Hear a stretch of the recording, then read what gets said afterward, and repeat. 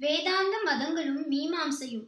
வேத கர்மாக்களை எல்லாம் அங்கீகரிக்கிறது என்ற அளவில் அத்வைத்தம் மீமாம்சையை ஆதரிக்கிறது என்பதோடு கூட மீமாம்சையில் பாட்ட மதத்தினர் சொல்கிற அதே ஆறு பிரமாணங்களைத்தான் அத்வைத்தத்திலும் ஒப்புக்கொண்டிருக்கிறோம். ஸ்ரீ சங்கரரின் அத்வைத்தம் ஸ்ரீ ராமானுஜரின் விசிஷ்ட அத்வைத்தம் ஸ்ரீ மத்வரின் துவைத்தம் மூன்றுமே வேதாந்த மதங்கள் தான் அத்வைத்தத்தை போலவே இந்த மற்ற இரண்டு சித்தாந்திகளும் வைதீக கர்மானுஷ்டானங்களை விடக்கூடாது என்பவர்கள்தான்.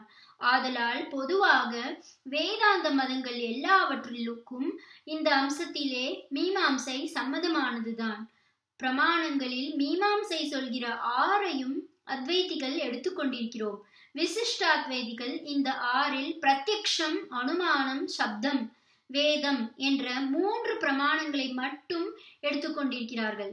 எப்படியானாலும் இவை மீமாம்சகர்கள் சொன்ன ஆறிலே இருக்கிற மூன்று தான் இந்த பிரமாண சமாச்சாரத்தை நியாயம் என்று அடுத்த உபாங்கத்தை பற்றி சொல்லும்போது கொஞ்சம் விரிவாக சொல்கிறேன். மொத்தத்தில் மீமாம்சையை அடியோடு நிராகரணம் பண்ணாமல் அதை வைத்துக்கொண்டு அப்புறமே அதை கடந்து மேலே பக்தியில் துவைத்தம் விசிஷ்டாத்வைத்தம் என்றும் பிறகு ஞானத்திலே அத்வைத்தம் என்றும் போவதற்கு நமக்கு முக்கியமாக இருக்கப்பட்ட மூன்று வேதாந்த மதாச்சாரியர்களும் வழி பண்ணியிருக்கிறார்கள் கர்மாவே எல்லாம் என்பதால் மீமாம்சையை கர்ம மார்க்கம் என்பார்கள்.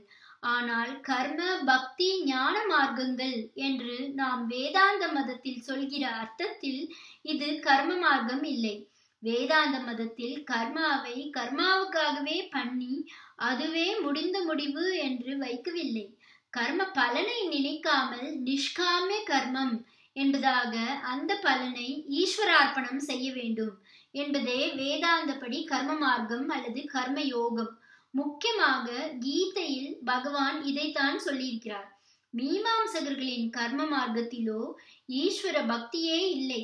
ஆனால் இந்த கர்மாக்களே லோகக்ஷேமம் சமூகத்தின் ஒழுங்கான வாழ்க்கை ஆகியவற்றை தருவதோடு அவற்றை பண்ணுகிற ஜீவனுக்கும் சித்த சுத்தியை தந்து அவனை பக்தியிலும் ஞானத்திலும் ஏற்றி விடுகிறது என்பதால் மீமாம்சை எதை சாத்தியமாக கோலாக லட்சியமாக சொல்லிற்றோ அதே கர்மாக்களை சாதனமாக மீன்ஸாக வேதாந்தத்தில் ஆக்கி கொடுத்திருக்கிறது.